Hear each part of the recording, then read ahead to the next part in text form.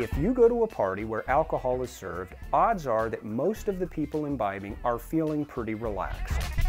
Their behavior is pretty much the same as it would be without the booze.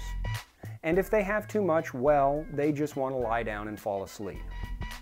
But there are probably one or two people at the party who react differently to alcohol. They're the ones whose behavior changes significantly. They become more outgoing, more daring, and sometimes wind up embarrassing themselves. People from both of these groups can become alcoholics, but researchers are finding that some of the biggest differences between them may be in their genes.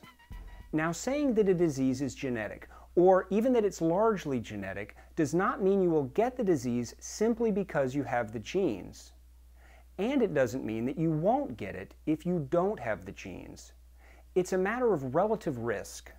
For alcoholism and other substance use disorders, that increased risk can be considerable it increases the risk fourfold if you have a family history, for example, a parent who has a substance use disorder.